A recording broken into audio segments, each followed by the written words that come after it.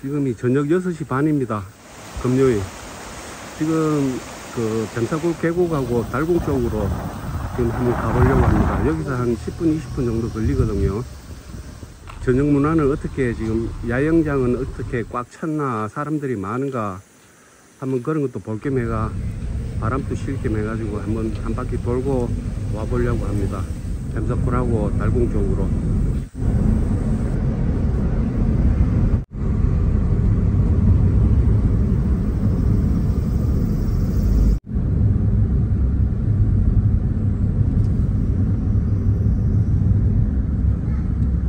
휴가철도 거의 막빠진 모에다 차가 많이 빠져나갔네. 글쎄 올해는 휴가객이 그렇게 많이 없는 것 같아요. 내년하고는 많이 비교가 돼. 사람이 없어 사람이. 오늘 금요일이거든. 다른 데 같으면 지금 아우 이런 데 차도 엄청나게 있고 사람도 많을 텐데 없잖아요.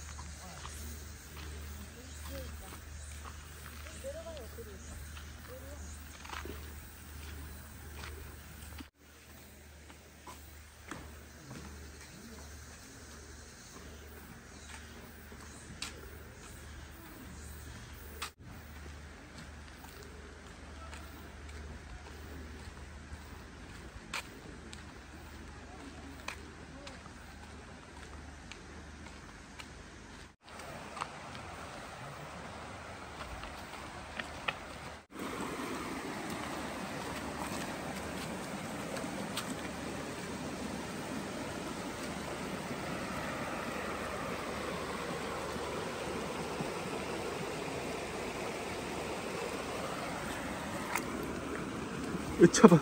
으, 차봐. 와, 물 진짜 찹다.